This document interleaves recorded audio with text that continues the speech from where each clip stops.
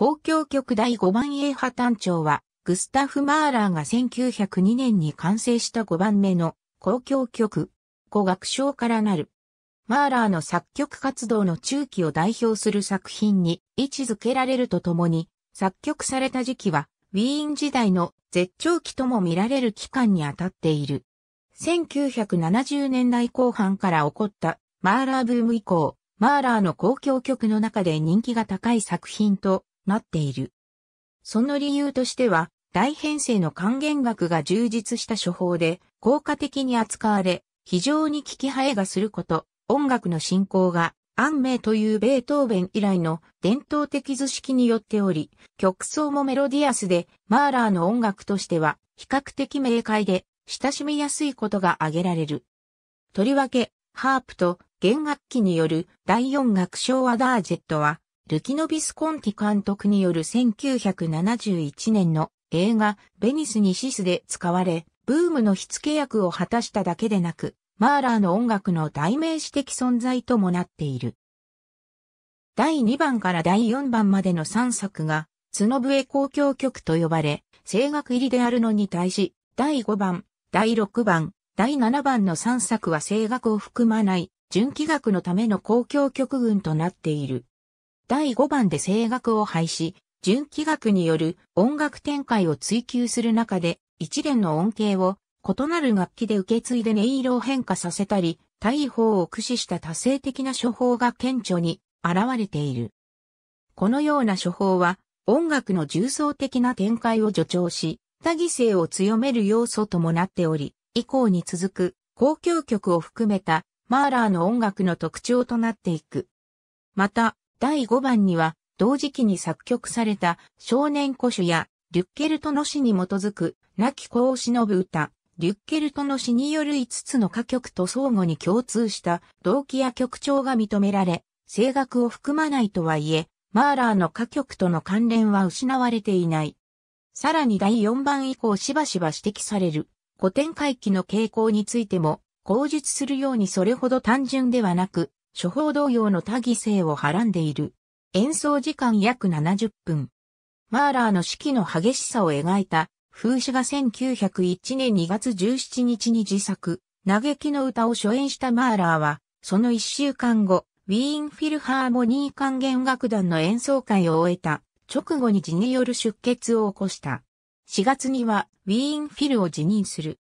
この辞任はマーラーがベートーベンやシューマンの交響曲などを編曲して上演したり、自作やリヒャルト・シュトラウス、ブルックナーの作品をプログラムに組んだりしたことが、ウィーンの保守的な批評家、聴衆から非難されたことによる。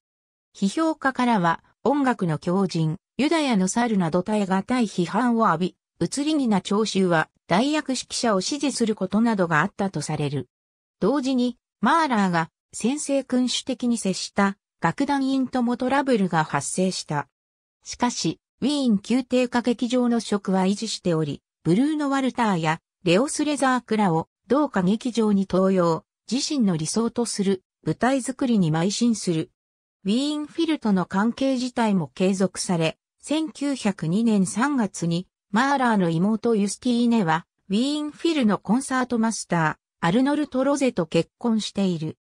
1901年夏、マーラーは、ベルター湖畔のマヤーニックで休暇を過ごし、作曲小屋で、リュッケルトの詩による5つの歌曲の第1曲から第4曲まで、亡き子を忍ぶ歌の第1曲、第3曲、第4曲、少年の魔法の角笛から少年腰を完成させ、続いて、交響曲第5番の作曲をスケッチする。休暇を終えたマーラーは、11月25日に自作の交響曲第4番をミュンヘンで初演。これは不評だったが、翌1902年6月、クレイフェルトで第3番の全曲初演を指揮して大成功を収めた。クレイフェルトではミレム・メンゲルベルクと知り合う。前後してオフフェンバック、ホフマン物語やリヒャルト・シュトラウス、火の欠乏などのオペラ作品をウィーン初演している。第5交響曲は、スケッチから1年後の1902年夏に、同じマイアーニックの地で完成。同時期に、リュッケルトの詩による5つの歌曲の第5曲も完成させている。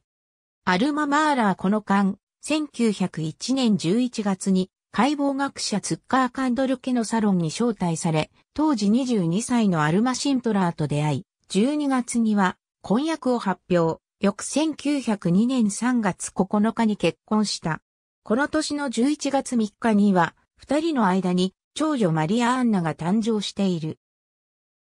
アルマのジップは、ウィーンの風景画家、エミール・シントラー、養父がウィーン分離派の画家カール・モル、母親は芸術家サロンの主催者という家庭環境の下で、アルマは詩人マックス・ブルクハルトや画家グスタフ・クリムトラとも交流があった。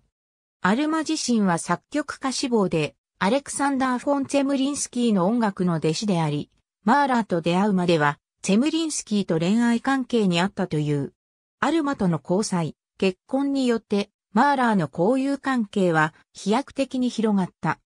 1902年4月、第15回分離派展でのオープニングに、宮廷歌劇場の管楽器奏者を連れて参加。ベートーベンの交響曲第9番の修学賞を編曲して演奏した。この際分離派の画家アルフレート・ロラーと意気統合し、翌1903年からロラーを舞台装置家兼演出家として起用することになる。一方で、アルマとの結婚をきっかけに、ナターリー・バウアー・レヒナーなど古くからの友人はマーラーから離れていった。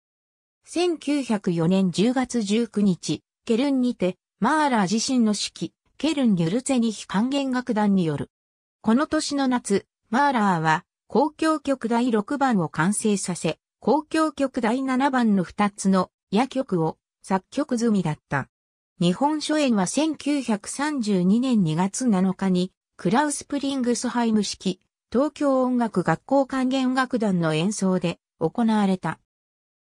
第4楽章のみ、1926年にマーラーと親しかったウィレム・メンゲルベルクが録音しており、これが世界初の録音である。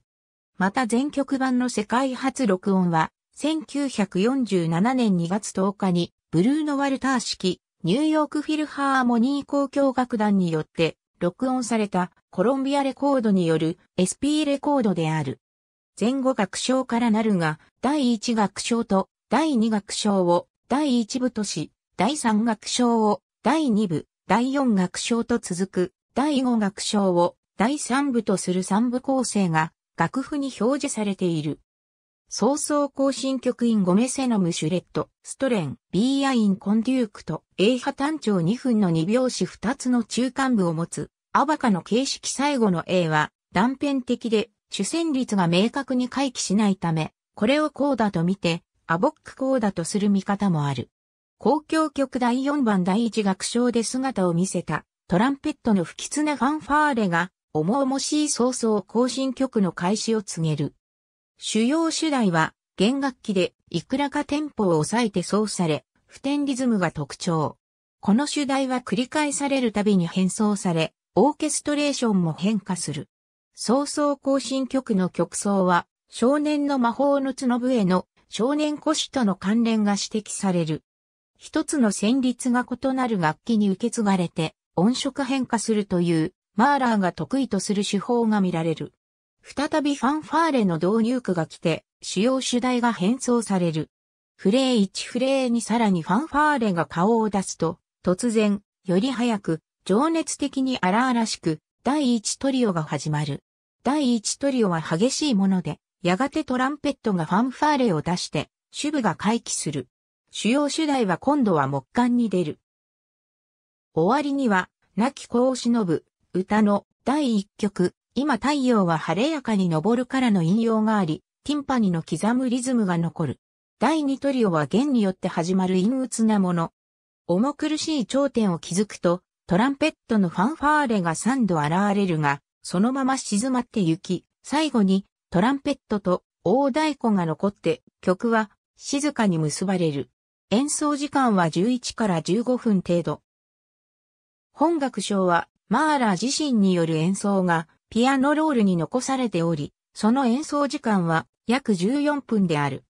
ストアミッシュベイベークとミッドグラスターベイメンツ、異端調2分の2拍子ソナタ形式第一楽章の素材が随所に使われ、関連付けられている。短い助走に続いて、バイオリンが激しい動きで第一主題を出す。曲はうねるように進み、テンポを落とすと、チェロがヘ単調で第二主題を大きく歌う。この旋律は第一楽章、第二の中間部の動機に基づいている。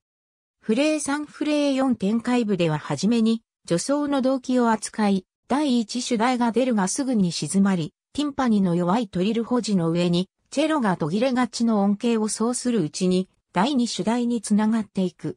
明るい更新曲調になるが、第一主題が戻ってきて、再現部となる。すぐに、第二主題が続く。第二主題に基づいて、悲壮さを増し、引きずるような頂点となる。楽章の終わり近く、金管の輝かしいコラールが二丁々で現れるが、つかの間の幻のように消え去って、煙たなびく戦場のような雰囲気で終わる。フレー語演奏時間13.5から16分程度。スケルツォクレフティグ、ニヒトズシュネル、二丁々4分の3拍子、自由なソナタ形式拡大されたソナタ形式のスケルツォで全曲の中でも最長の楽章。この楽章単独で第2部となっている。第1、2楽章から一転して楽しげな楽奏で、4本のホルンの特徴的な信号音の導入に促されて木管が第一主題を出す。第一主題が変装されながら、ひとしきり発展した後、レントラー風の旋律を持つ第二主題が幾分落ち着いてバイオリンで提示される。これは長く続かず、すぐに第一主題が回帰する。フレー6フレー7、間もなく展開的な楽奏になり、より遅く、落ち着いてと記された、長い第三主題部へ入ってゆく。主題を変装しながら進行し、最後はピッツェカートで扱われる。フレー8そこから第2主題が顔を出して、展開部へ入る。展開部は短いが、ホルツクラッパーが骨の鳴るような音を出すなど、効果的に主題を扱う。定時部と同様に再現部も開始する。第1主題の再現後、第2主題、第3主題も混ざり合わさって、劇的に展開し、展開部が短いのを補っている。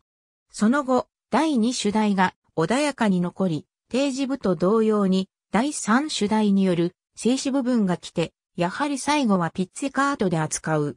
コーダは華やかなもので最後にホルンの信号音が出て曲を締める。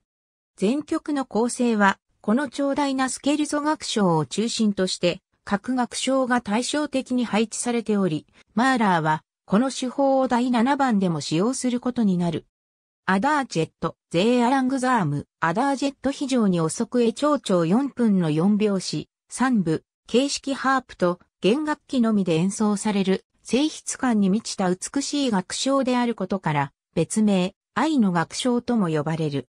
亡き子を偲ぶ歌第2曲、なぜそんな暗い眼差しで及び、リュッケルトの詩による5つの歌曲第3曲、私はこの世に忘れられとの関連が指摘される。中間部ではやや表情が明るくなり、ハープは沈黙、弦楽器のみで同型を称えた旋律を出す。この旋律は終曲でも使用される。休みなく第5楽章へつながる。フレー級フレージュール・キノビス・コンティ監督による映画、ベニスにシスで使用されたことで有名となり、しばしば単独で演奏される。なお、楽章の表題はアダージェットであるが、演奏指示はゼイアラングザームとなっている。一般20分前後の演奏時間であるが、マーラーとメンゲルベルグは約7分で演奏した。ロンド、フィナーレ、アレグロジョコーソロンド、マイナスフィナーレ。アレグロタの主下に、2長調2分の2拍子。自由なソナタ形式。第4楽章の余韻が残る中、ホルン、ファゴット、クラリネットが牧歌的に掛け合う。このファゴットの音程は、少年の魔法の角笛内の一曲、高邁なる知性への賛美からの引用である。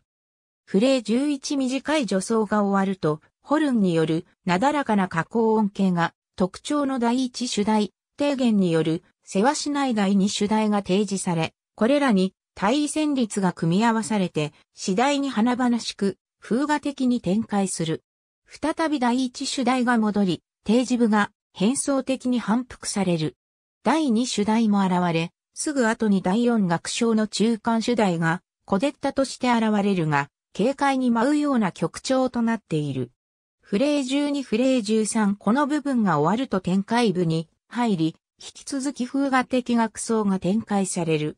コデッタ主題が現れ、次第に力を増して、クライマックスの後、再現部に入るが、第一主題はかなり変形されていて明確ではない。